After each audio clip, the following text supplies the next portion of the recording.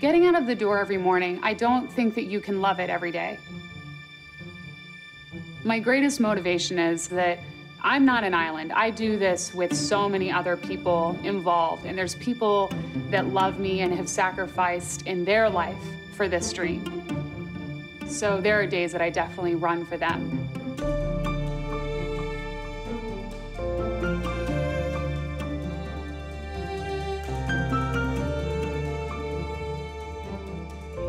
The people that support you the most in your career are never going to hit the limelight and never going to get the thanks they deserve. My husband is certainly one of those people. He is by my side every single day, and I'll be eternally grateful for that. It's really special to be able to train with Jenny and see not only the, the highs of the races and the accomplishments, but to be able to see the, just the day in and day out, the grind of the miles and the hard work and how much dedication it, it really takes to perform at the level she does.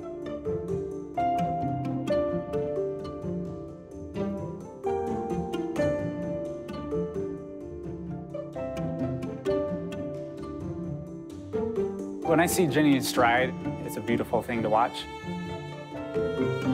I see controlled aggression there's a lot of power and a lot of strength in her stride, but she's able to measure that and use it at just the right time in the races.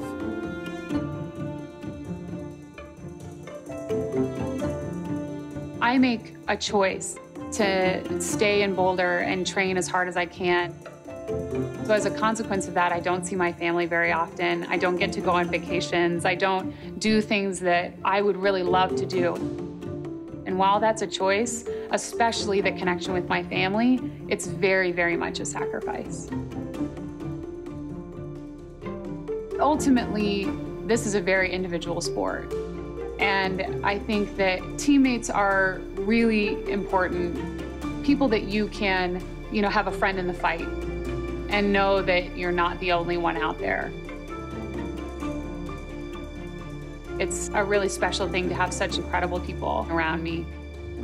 They make me a better runner, of course, but I think more than that, they just make me a better person.